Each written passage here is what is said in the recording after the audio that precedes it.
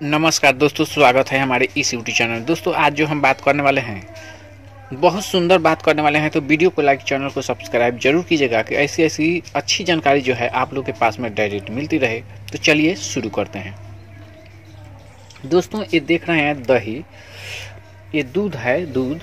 तो इसको आग पर देख लीजिए, सही तरह से चूल्हा पर रख दिए हैं। देखिए, इसमें थोड़ा सा, और इसमें थोड़ा सा लकड़ी लगा दिए हैं, एकदम धीमी आँच पे, यानी कि खाना बन गया है। उसके बाद में इसको दूध को रख दिए हैं अवट करके, या उसके बाद में साफा पूरा धीमी आँच रखना है।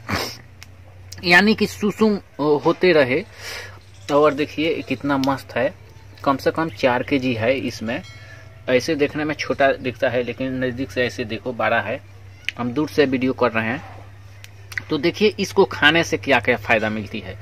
अगर दही आप जमा करके खाते हैं तो पेट के जितनी भी अचरा कचरा है, वो रात के समय में बाहर निकल जाता है।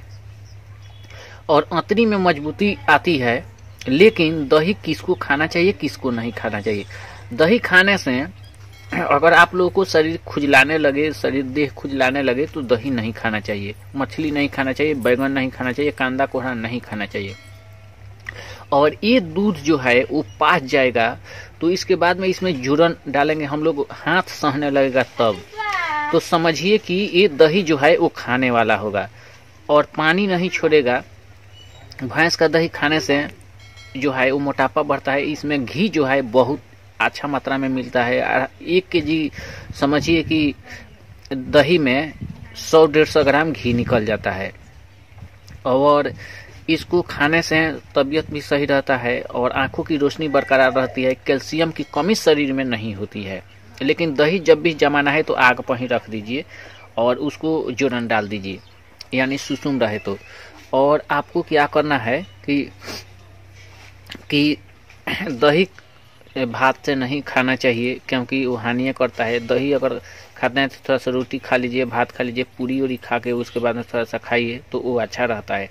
और दही में जो है, वो दो कली लहसुन डालना चाहिए और एक हरी मिर्च। तब तो उसको चटनी बना करके उसमें मिक्स करके खाया जाएगा तो समझिए कि दांत खाज खुजली से हम बच पाएँगे। यही जो है, यही बताने वाला था मैं, कि दांत खाज खुजली को बचाना है। तो आप लोगों को दो तीन कली लहसुन, एक के जी दही में और एक हरी मिर्च को पीस करके डाल दीजिए तब उसको खाइएगा थोड़ा सा तो आपको कोई प्रकार की बीमारी नहीं होगी। दोस्तों, वीडियो देखने के लिए बहुत बहुत धन्यवाद। ऐसी वीडियो की जानकारी चाहिए तो वीडियो को लाइक, चैनल को सब्सक्राइब ज़रूर कीजिएगा। दाद खाज खुजली से बचना है तो ये वीडियो ज़रूर आपके लिए उत्तम है। दाद खाज खुजली एक बार हो गई तो समझिए कि शरीर जो है नुकसान हो जाता है, खराब हो जाता है। तो इन सभी बीमारियों से बचने के लिए आप लोगों के लिए शेयर कर रहा हूँ। थैंक यू दोस्तों। जहाँ भी रहें, माता दुर्गा जी की कृपा से आप लोग खुशहाल रहें।